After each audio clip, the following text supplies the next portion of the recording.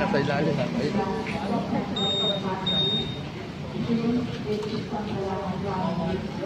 Magandang hapon po sa mga magpapabas-bas ng kanilang sasakyan at maligayang pagdating sa dambana ng ating mahal na ina.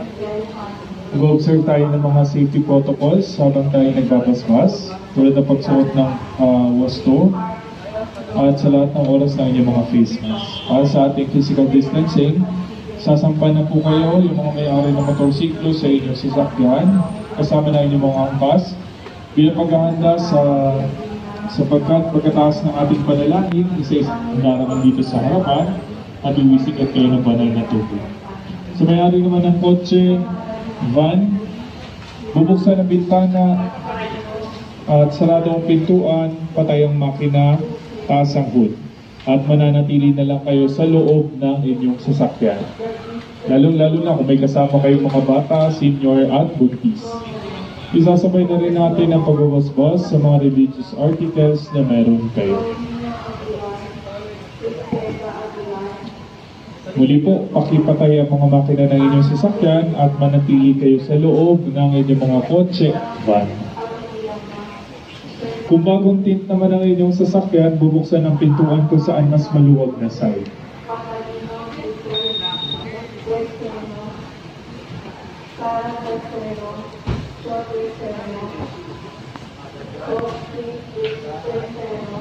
Una ng lahat, sabay-sabay tayong mananalangin sa ngalan ng Ama at ng Anak at ng Espiritu Santo. Amen.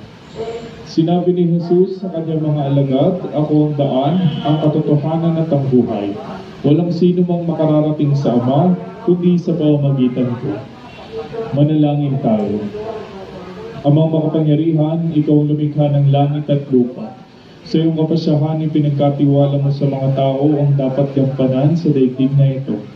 Ipagkaloob mo sa mga manlalakbay sa pamamagitan ng mga sasakyang ito ang paglingap sa kaligtasan ng tanan upang sa kanilang pupuntahan sa trabaho man o sa paglilibang. Iyong ipadamang si Kristo ay kasama sa daan bilang Panginoong nabubuhay at naghahari kasama ng Espiritu Santo ang pasawalang hanggan. Kawan tayo ng Diyos sa gawaran ng pagbabasbas sa mga rosaryo, stampita, imahen, at iba pang gamit sa panalangin upang makatulong sa kasalukuyang buhay sa ikaw unlad sa paggawa ng kabutihan upang makamit ang ligaya ng kalangitan sa pamamagitan ni Yeso Kristo kasama ng Santo magpasawalang hanggan ang panyayan sa bawat isa laging magdarasal bago bumiyahe at magmamaneho ng maingat. Sa ngalan ng Ama at ng Anak ng Espiritu Santo. Amen.